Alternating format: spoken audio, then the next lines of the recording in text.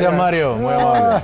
Hoy soy aliancista. Vámonos a los goles allá en el estadio Cuscatlán, lo que ha pasado Alianza, ¿no? en el derby capitalino, hablando de la Alianza, minuto 25. Vean nada más este riflazo. Candidato, de ¿eh? Edgar Valladares. Antes de esto, eh, Elvin Alvarado había pegado uno en el travesaño también desde muy lejos, 25.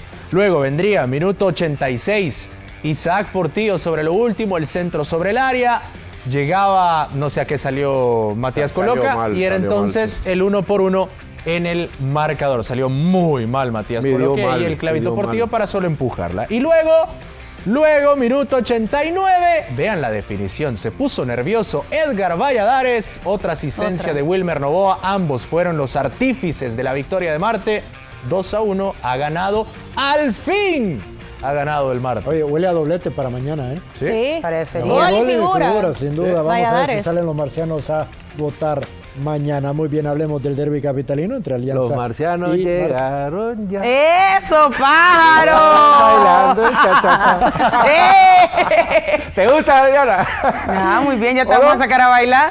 Muy bien, pájaro, muy bien. Trae pájaro. ritmo, trae ritmo. Eso es lo que bailaban después del título. ¿Ah? Sí, el cha-cha-cha. El cha-cha-cha. No, no vas a contar del cha-cha-cha. Muy bien, a ver, un partido que ya sabemos lo que nos dejan cada vez que estos dos equipos se enfrentan. Un sinfín de narrativas. Es un partido de ida y vuelta. Aquí hay una rivalidad latente, ¿no? Porque independientemente cómo están en papel, estos dos se vienen a reventar en cancha cada vez que se enfrentan. ¿Sorprendido por el marcador? Sí, para mí es una gran sorpresa. Por cierto, decía que ganaba Alianza, ¿no? Todos pusimos alianza. Por los momentos, Ahí está. por los momentos está, ¿no? que están viviendo los dos equipos, ¿no? Una plantilla que, es de la mejor el que- y la otra que tiene muchos ¿Fue, problemas. fue- ¿no? fue esta una especie Pero- de final para Marte, en tu opinión? Tenía que, que salir eh, eh, a, a ganar, ¿no? Eso, porque eso lo mantiene ahí y está solo a esperar lo que hablamos, la matemática que todavía. Pero para mí es, es satisfactorio y demuestra la capacidad de- de- de- del pájaro Domici, ¿no? Demuestra carácter, ¿no? Lo que siempre demostrado, Otro ¿no? equipo ya hubiera tirado la toalla, el técnico también hubiera... Pero no, al contrario, esto es... Nelson, tú llevaste el partido. triunfo, ¿eh? Te quiero preguntar a ti, este partido, en tu opinión, ¿lo juega Alianza pensando en Marte o pensando en la liguilla? No, lo, pien- lo- lo juega pensando en la liguilla, sobre todo por la alineación. Deja a Juan Carlos Portillo afuera, que es su mejor jugador. No estaba Marvin, no estaba Jonathan Jiménez, no estaba Iván Mancilla, ya sabemos por qué. Pero también yo vi hoy a una alianza deslucido, una alianza sin chispa, una alianza sin ganas. Eh, no digo que, vea, que vio de menos a Marte, pero simplemente el, partido era de trámite. No, no, no, pero ¿no crees que en algún momento se confía Alianza que la narrativa que ya la conocemos de los últimos partidos, porque todas han sido similar, 75 minutos de tú a tú, los últimos 15 lo terminan liquidando en la Alianza. ¿En algún momento sentiste que estaban de repente confiados que Sí, eso iba sí, a terminar sí. siendo igual? Puede ser, puede ser, porque le faltó profundidad, le faltó idea, le Entrega. faltó creatividad hacia el frente.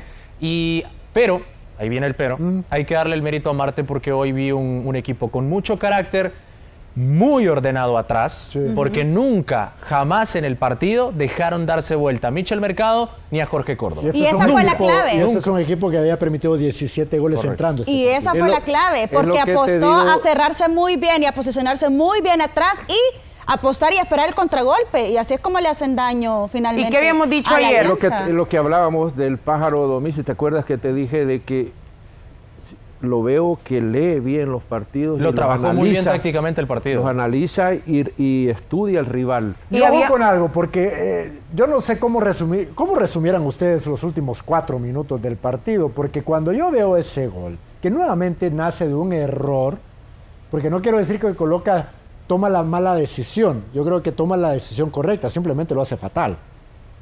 ¿Sí? A la hora de salir, a tratar de puñetar. entendí, Esa, sí, sí, sí. esa es la decisión correcta que debe de tomar. Pero porque lo una hace mal, ejecuta lo hace- mal. Lo ejecuta mal, sin duda. Pero yo pensé, aquí, aquí va nuevamente la Como ha misma ocurrido, sí, en varios partidos, eh, Marte ha estado ahí ganando, empataba y después se Y en la transmisión abajo, ¿no? dijimos, bueno, viene Rocky 5. Otra vez la misma película. Sí, lo- la misma película. Lo que esperábamos, ¿te acuerdas del comentario que hicimos eh, de que Marte que no se cayera en los últimos minutos. Así. Y todo lo Y, contrario. y no se dio. se Qué levanta bueno. para anotar el gol de, de la victoria. Ahora, pero ¿qué es lo que hizo Marte? Porque no vimos a un Marte desbocado hacia adelante.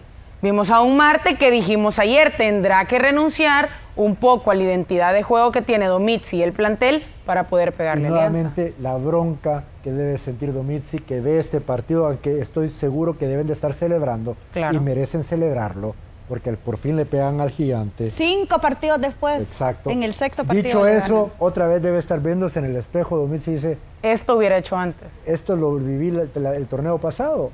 Justo en el- al final logra entender el equipo en cancha, logra entender lo que Y se pueden morir a la orilla otra vez. Sí, hasta, Exactamente. hasta mucho ha hecho, ¿no? Hasta mucho ha hecho con lo que está haciendo en los dos torneos. Pero que ¿crees que con- esto le suma credibilidad Sí. a Domitzi como, Sí. como Sí, director yo creo que sí.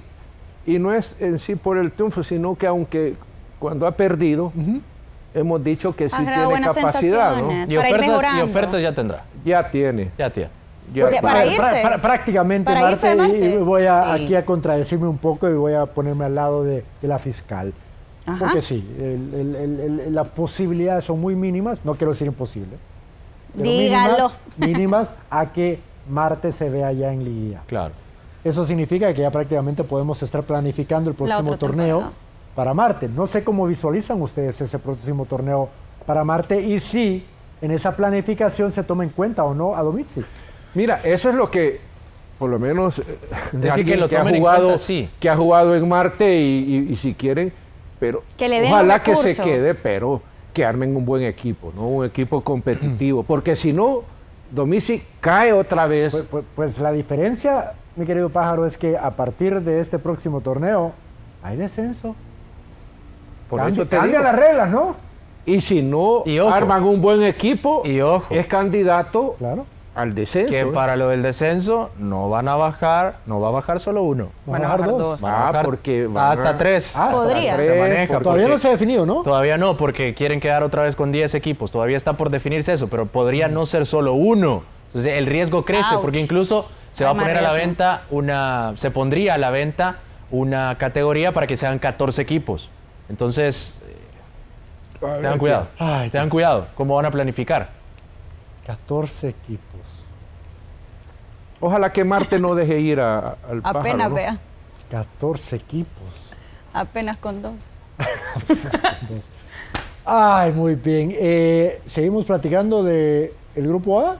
¿Les parece? Producción, ¿me confirma?